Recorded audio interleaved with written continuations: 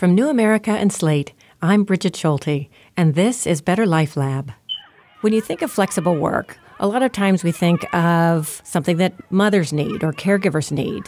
Other times we think of millennials and how younger workers want to have time for work and life. But there's a flip side to flexibility that a lot of people don't think about. So we walk in and we look on the list and we see, oh, we're an extra. It's it's not even about the hours. It's just about you know I just need to make twenty bucks to put gas in my car. They only give you what the computer tells you, and they won't go over that. It's a struggle. And if you don't have a set schedule, the response is, "Well, get another job." And how can I get another job if I don't even know what hours I'm supposed to be at the job that I do have? Hourly workers, retail workers, restaurant workers, they're now suffering from too much flexibility. There's always been some unpredictability in these jobs, but in recent years, there's been a marked increase in precarious and unpredictable schedules, split shifts, clopenings, on call work, schedule changes at the last minute. So, what's going on here? Why are so many workers facing an epidemic of schedule chaos? To help us find our bearings, I've asked a real giant in the field of work life issues to join us. Joan Williams. Joan's books include What Works for Women at Work and many others, and she's the director of the Center for Work Life Law at the University of California, Hastings in San Francisco. Joan also recently co led a vital study of the impact of unstable schedules on the American retail workplace. That research points to some clear changes, changes that could help workers and boost company profits at the same time. So, Joan, welcome. Hey, Brigid, it's great to be here. What I'd love to do is listen together to the stories of several workers. And throughout these stories, we're just using first names, and we're not identifying the names of stores or restaurants where these workers work. And we're doing that because we found that there's really no one bad actor. What we're describing is a systemic problem. We're going to first hear from Adrian, a nine year veteran of a big box retail store in Los Angeles. I spoke to him right after his shift just as he got back to the crowded apartment in LA that he calls home. Things were unusually quiet there, except for the beeping of a smoke detector that needed its battery replaced. It's a sort of another sign of the chaos of his life. I asked Adrian to describe his typical weekly schedule. It's very unpredictable. It can be anywhere from two working days to five you can be scheduled five one week, the next week two, the next week three. Mm. Before you had a human who would actually write out the schedule. Mm-hmm. Now it's a computer who spits out like this is the hours that this system thinks that you should have and you shouldn't go over it. So the computer thinks that there are some days that you should only work one day and other weeks you should work five days. It's all some algorithm that's deciding your yes, life? Yes, ma'am. That's exactly what they base their schedule on. So this is this is artificial intelligence and what kind of life are you able to lead based on what this artificial intelligence suggests is the best for oh, the store? A very stressful one. And and you have the human part, they're in the store. They see the need to have more workers there Mm-hmm. But there's still nothing they can do, or at least they tell you that because they're saying that this computer says that based off the sales that you had last year, you don't need that many manpower. They have a quota, and our main managers, if they surpass a certain amount of hours, they themselves don't get their bonus checks. Hmm. Last week, I heard the human rep, because we have walkie-talkies at our job, mm-hmm. and she contacted my boss. And she's telling him, hey, we went over 60 hours for the week we have to cut 60 hours. So they proceeded to tell people to go home, and then they called team members and told them, don't come to work. Hmm. So all that work they pushed on to the few, very few people that were left. Wow, so, so there's fewer they, of you like doing... They base everything because the system told them, hey, you went over on hours, you got to cut hours. Wow. So they're more enticed to tell people to go home because then they get their bonus checks. Wow. So are you uh, are you considered full time or part time? I was hired as a full time nine years ago. So, do you actually still get benefits? Well, I get health insurance, mm-hmm. but in order to maintain my full health benefits, I have to work a minimum of 32 hours. Uh-huh. So, when say when a schedule comes out and I'm scheduled three days, I actually argue with the HR people. You need to keep me at 32 hours because mm-hmm. if I don't have at least 32 hours a week, I will end up losing my benefits. And what do they say when you tell them that? Well, that, you know, that's just the way the schedule came out and that's the company needs. So I end up having to scavenge for hours, which a lot of us do. So I tend to go for people that are very young and, you know, most likely still live with their parents. Hmm. Hey, I know you don't want to work. You know, let me have one of your days. And that's what we do. A lot of us do. We go around pretty much asking and begging for hours. So you basically have to beg your way into a full time schedule in order to Yes. keep your benefits like health insurance. Yes, yes, yes. So Joan, what's going on? What's happening to to so many retail and restaurant workers out there? As Adrian points out, schedules used to be made by people for people. And then the conveyors of computerized scheduling came along and said to retailers, hey, I'm going to help you match labor supply and labor demand in real time so that if there are fewer patients in the bed or fewer customers at the restaurant, we'll get rid of those hours so that you can control labor costs. So um, this was modeled on just in time inventory.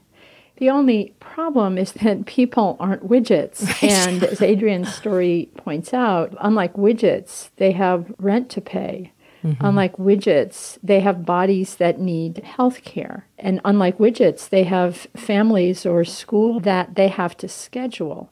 You work different days every week, different hours every day. Often you also work on call shifts, which typically means that you're scheduled for a shift, but it might be canceled anytime up to two hours before the shift is supposed to start. I mean, he's unusual in that he actually is supposed to have a full time schedule the classic just in time schedule is just a part time schedule, which means that you're only given part time hours, but you have to keep your time open. So you actually can't take another part time job because then the schedules of the two jobs conflict. Hmm. And the image, for example, in retail has been that this is just college kids earning beer money.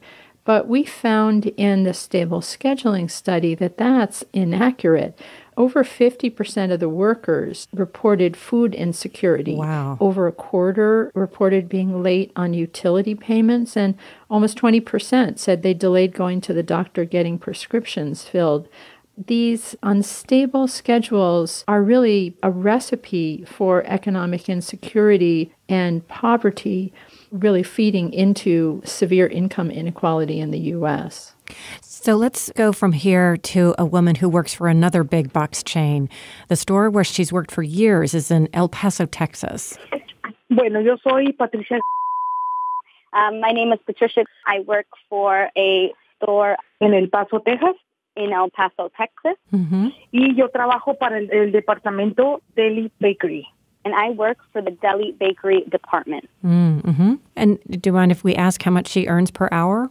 Ah, ay, ahorita me están pagando 12 dólares con 10 centavos la hora Right now, they are paying me $12.10 yo quisiera after almost ten years, pagaran and I think I'm worth more.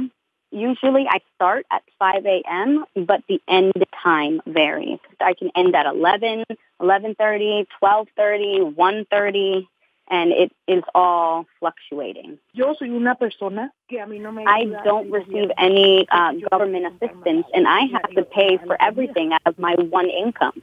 So, Patricia, do you have family? Are you also supporting children or other family members? Pues, pues prácticamente no depende de mí, pues de mi hijo, ¿verdad? Porque mi hijo pues es la que So she has a young daughter that depends on her. She's a single mother, and her son and his wife are living with her, and they just had a baby, another baby. So Two. they all live in the same. Yeah, she had his her son has two babies, so now they all live in the same home together. Mm. ya no ya no completo. Muchas veces tengo que So many times when I don't get the, enough hours that I need to pay for everything, I have to be extremely conscious of every single penny that I spend because I know that any little bit will eat into my other bills. So I can't buy my daughter food from outside of the home. I can't take her anywhere extra where we might spend money and she might want something. And how does that make you feel? frustrada. Frustrated. So, Joan, we've just heard from Patricia talking just about that very point that you made. Yeah, Patricia's experience really dramatizes the effects of these kinds of unstable, fluctuating schedules on workers. it's really stressful to be in this situation where you never know how long your shift is going to be and how much money you're going to end up earning. Mm. And six out of 10 of the workers we studied had physical symptoms like headaches and stomach aches. Those kinds of physical symptoms often are a sign of stress. Mm. And we now know that sleeping less than eight hours can have serious long term health consequences really serious. I mean, things like strokes and heart attacks. Wow. And so when we shifted a group of hourly workers to more stable schedules, one of the things that we found is the self rated sleep quality improved by nearly 7% Hmm. on average. And that's going to have long term health effects, which of course will be important for the individual. But they'll also be important for the society mm. because the kinds of health effects we're talking about are very expensive at a society wide level. So, I want to talk about your stable schedule study in a moment. But first, I want to play for you the stories of two women that I talked to who work in an industry where schedules are no- notoriously chaotic the restaurant business. First, we'll hear from a server at a chain restaurant in the Pacific Northwest. My name is April. I live in Washington State. I've worked for for 13 years now. Love my job, So, well, most of it. what do you? So, what do you do, and what do you love about your job? I'm a server, so the flexibility is one of the main things, and the, I have cash in my pocket when I leave at the end of the night. From tips, and you mean, and Uh huh. so you like the sense that you don't have a fixed schedule, that it's always fluid. To a degree.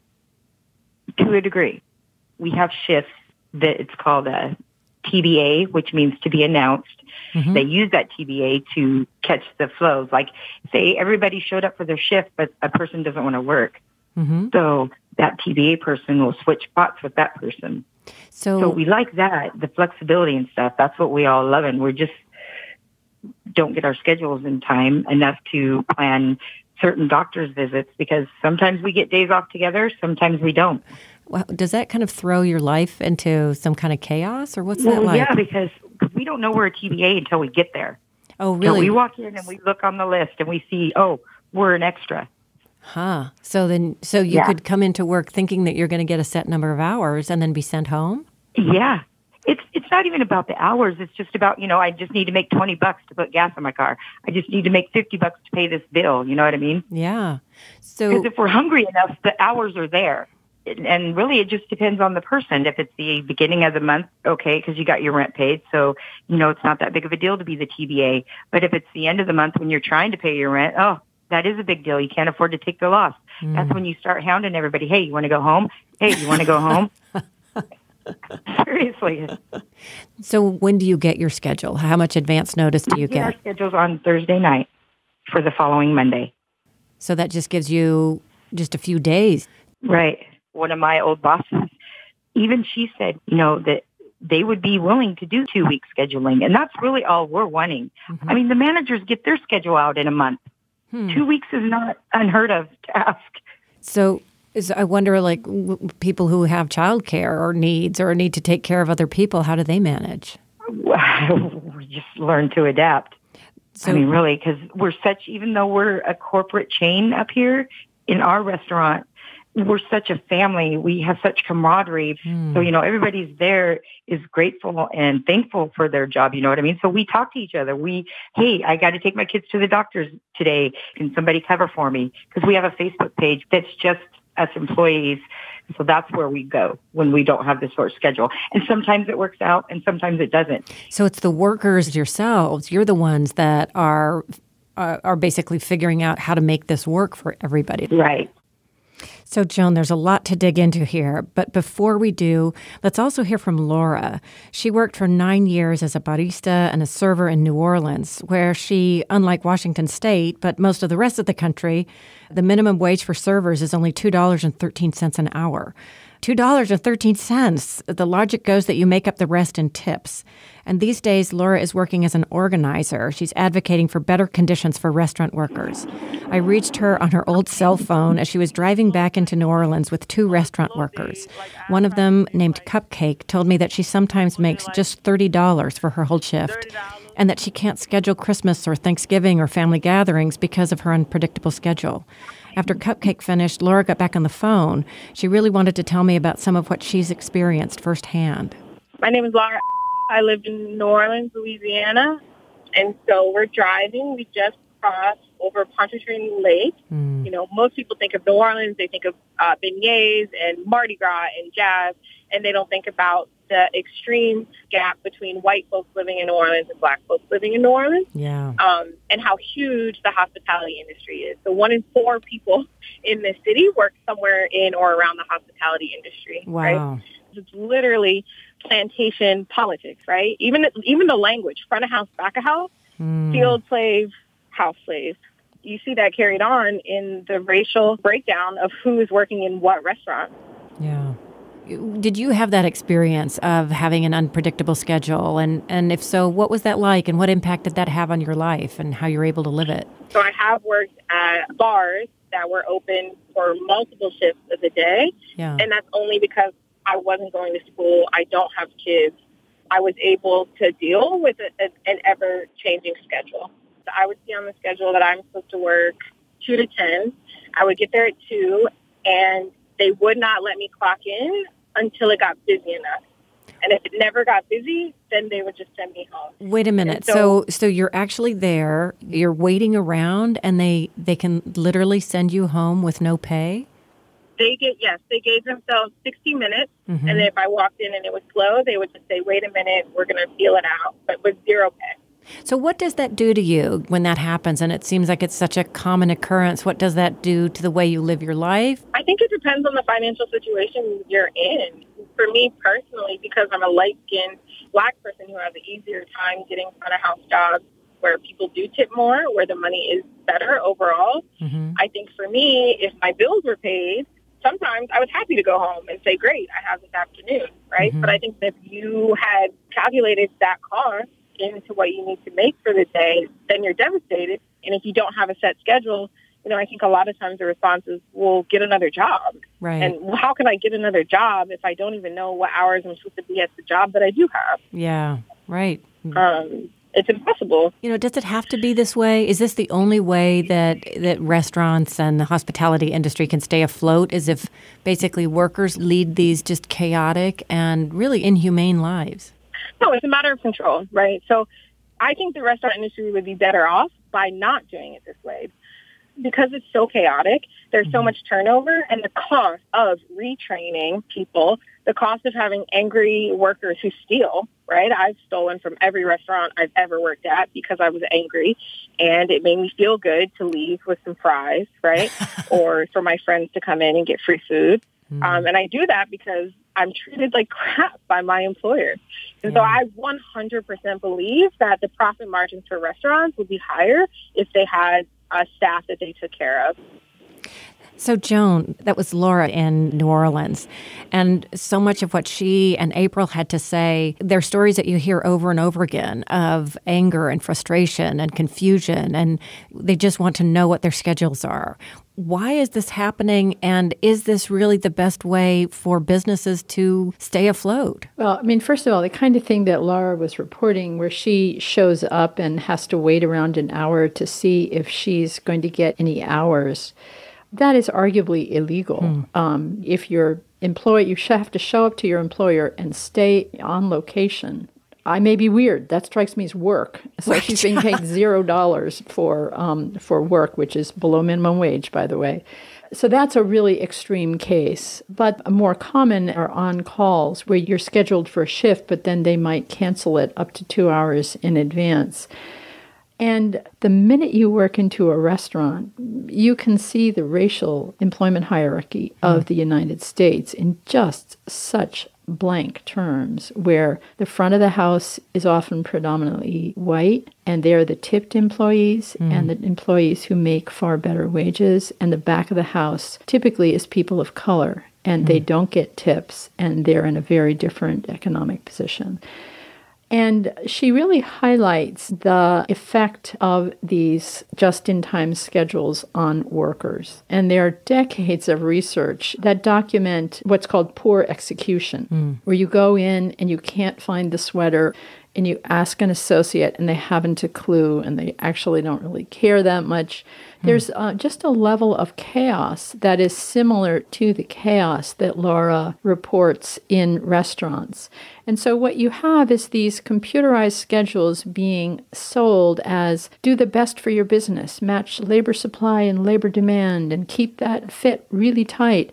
But if you keep the fit too tight, then you are driving up back end labor costs that are never counted as labor costs. Mm. Constant turnover, lack of adequately trained staff, even theft. And so, what we found in the stable scheduling study is that when we shifted a group of retail workers to more stable schedules, sales sharply increased hmm, really? by 7%. Why do you think percent is a big increase in brick and mortar retail in this day and age? That's amazing. Why is that? What happened? Execution improved, and they could find the got, sweaters. They could. They uh, yeah. What um, largely explained this was a retention of more experienced associates. Hmm. And so when you have a shift to more stable schedules, you make more money. I mean, hmm. the location of this study was at the Gap retailer, and in the intervention stores, they made $2.9 million more in sales. Wow. And if you begin to treat people more like workers who you want to invest in your business, mm-hmm. the workers do invest in your business. You know, you, write about that, the, the hidden costs, as, as you call them, and yet you make such a case for why, uh, why it's actually in your business interest to treat your workers as workers and invest in them rather than, than as widgets that you can just sort of fling around willy nilly with AI.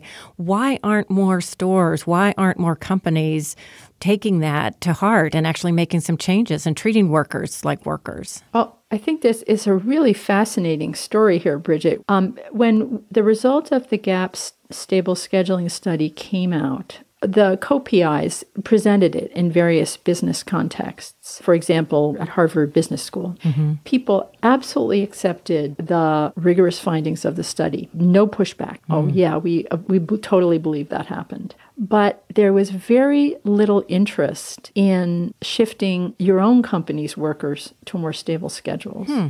And the reason they don't act on it is that it's a really complicated organizational change challenge. Mm. You need to change not only your scheduling practices, but you need to change other practices coming out of headquarters that have very concrete impacts on schedules. And perhaps the most concrete example is something that Adrian mentioned, which is that if a store manager staffs for more hours than headquarters thinks they should be staffing for, mm-hmm. then the store manager loses their performance bonus. Hmm. And so going over hours has a more acute effect on your comp than increasing sales does.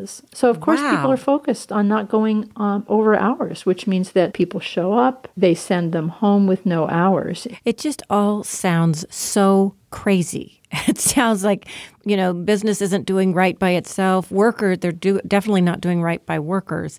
Um, I want to play another story uh, of, of uh, sort of, we're talking about these sort of unexpected or unintended consequences. She's a young woman who works in retail in Philadelphia, and she's been trying to save money to go to college. And so she took this new job thinking that that would really help her reach her goal. Okay. My name is Tatiana, and I worked for a big retail company. I get paid twelve dollars an hour. Mm-hmm. Before at my other job, I was getting paid 8 mm-hmm. With my job before, I had fixed hours and I had five days a week. Oh. But now I have twelve dollars per hour, and the schedule is all messed up. So, you know, how does that all uh, average out? Were you actually earning more when you were earning less per hour? Honestly, it's the same pay.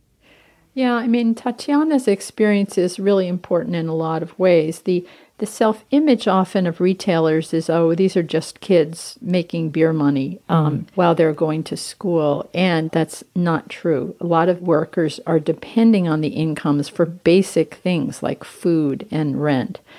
But the other thing that Tatiana's experience points out is that these very unstable schedules, which kids often take in order to support themselves through school, or to make money for school subvert the kids' futures. So Tatiana mm. doesn't get enough hours in order to make money to get to school. Um, a lot of kids they take these retail jobs to support themselves while they're in school but because of the unstable schedules the kids are paying tuition to pay for classes that they now can't attend hmm. because their schedules are so unstable these unstable schedules subvert the economic opportunities of the college kids. So, for the final story, I want us to return to Adrian, the big box store worker from LA who we heard at the start of the show. I think Adrian's story really brings home the impact that schedule chaos has on so many workers today. Struggle. It's a struggle. You know, how am I going to pay certain bills? You figure out which ones are the more important ones that are that you have to pay. Mm-hmm. You know, your rent, mind you, I live in California, so you know rent's very expensive. So yeah. it's like playing with your life pretty much because it's like I got to pay for rent, I got to pay for my car, mm-hmm. and if you want to maintain good credit, you got to pay for your credit card bills. Yeah. And sometimes food is you know is like the last thing that you have on your list. Hmm. You know, do you have family or do you have uh, caregiving responsibilities? Um, fortunately, myself, I, I only live with my partner. Mm-hmm. I did move in with my sister because I couldn't afford to pay rent on my own somewhere. It was mm-hmm. way too expensive. Yeah. So I live in a household with there's four adults and two kids in a one bedroom home. What? Um, yes. How do you wait? Where does everybody? How do you do that? My partner and I are in a bedroom. My father built bunk beds in the living room, and my sister lives in the living room with her partner and her two kids. That's many families here. I can't speak for the rest of the country. I know what we have here in Los Angeles. Mm-hmm. I know the stories of my coworkers. Yeah. I know there's individuals at my job with their families. The ones that I know that have kids, those are the ones I worry about more. Mm-hmm. Right after Christmas, yeah. you had people coming off of working five days a week, and then they went straight to working a day. Wow. Like, who can survive off of working five days a week, cut down to a day? So, yeah, man, you know, uh, so I guess, you know, one of the first questions that comes to mind, which, you know, uh, is like, why do you stay? Because I feel like I've, I've fought and struggled to get the measly things I have now. Mm-hmm. And if I can find my way to get my, at least my 32 hours, mm-hmm. it's the same thing everywhere. And I feel like, well, if I already did the fight where I'm at now, I don't want to go somewhere else and, and start all over again fighting all over again for the same the same thing that I have now. I don't think mentally I can do it again. Mm. You know, I did my nine years. Why would I go from one mess to another mess? Yeah. Why can't they just fix the mess they have now and make it better? It, it wasn't. It wasn't like that in the when I first started working there. Mm-hmm. It after was it about two years ago when they did that minimum wage hike. Yeah. Everything changed so drastically. They completely, completely started cutting things so bad because they cut department. And that work still has to get done. We're doing a job of what six people used to do. So, how's it changed your life? The change to fifteen dollars, the, the, the living wage. You know, are you getting more money? Uh, you know, oh, even no. with the scavenging no, no, of the hours, or I am now making exactly the same thing that a new hire makes. Hmm. So when you Which said I'm all I'm all for for these new people to make money, mm-hmm. I just felt like they should have compensated us with you know raising our wages. Yeah. Everything's based off the company needs.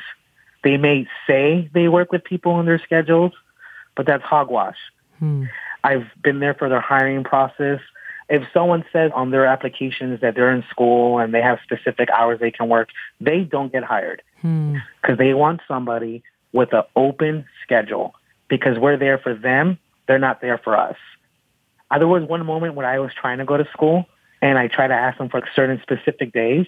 And I was told, well, you know, you might get less hours because it's going to be based off what we, what we need and what we have available for you. Mm-hmm. And that was it. So of course, at that point, you decide to give up on moving up and you stay stuck where you're at. Hmm. I give my all to whatever I do. And a small job like working at a retailer, I'm still going to earn an honest day living and I'm going to earn it. So the fact that I work and I give them all my time, I feel like they should do more for, for their team members.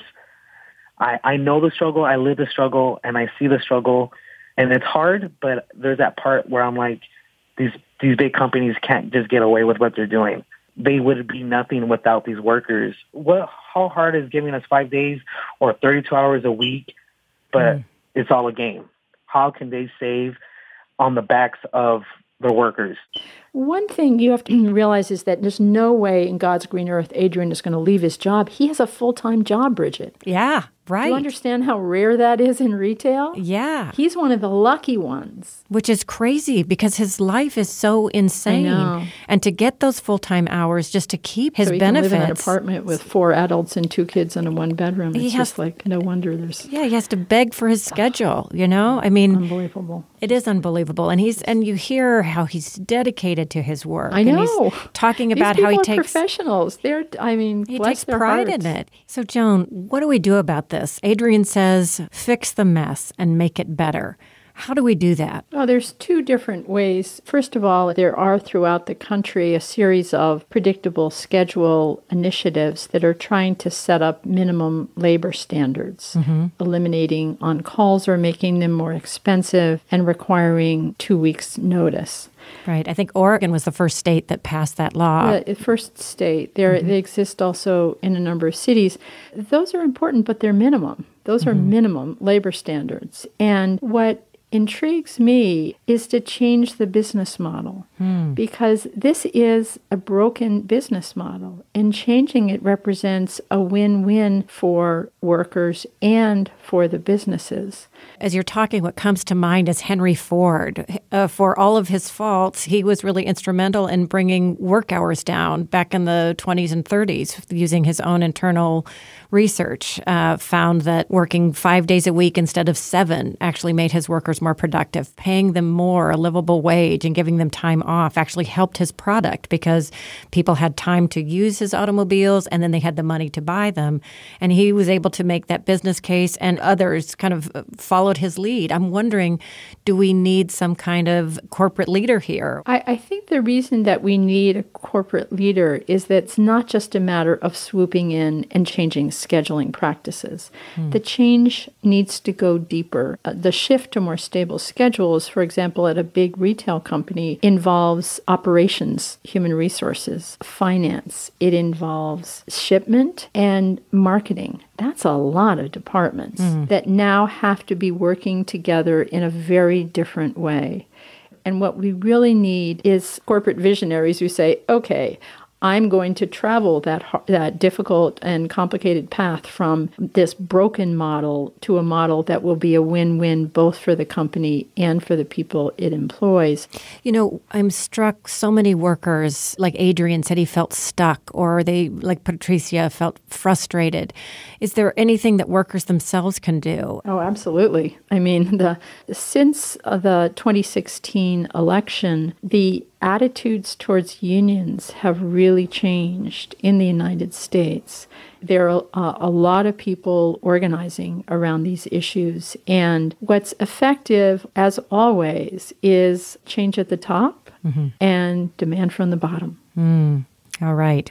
Change from the top, demand at the bottom, and then all of us work together to fix the mess. Absolutely. Joan, thank you so much for talking with us today. I so appreciate your time. Brigid, it's always a pleasure. Joan Williams, a true leader in the field. She's the director of the Center for Work Life Law at the University of California, Hastings. Joan's books include Unbending Gender and What Works for Women at Work. And to Adrian, Laura, April, Patricia, Tatiana, Cupcake, and the other workers who took time out of their own chaotic and busy schedules to share their stories with us, let me say a very, very big thank you. For more resources on working healthier, go to newamerica.org. Click the link for Better Life Lab. Review us on Apple Podcasts if you like the show, Or do it the old fashioned way just tell your friends and tell your boss to listen. Better Life Lab is produced by New America in partnership with Slate. Thanks for joining me for our podcast about the art and science of living a full and healthy life. Our project is a collaboration with Ideas 42, supported by the Robert Wood Johnson Foundation. David Schulman is producer of Better Life Lab.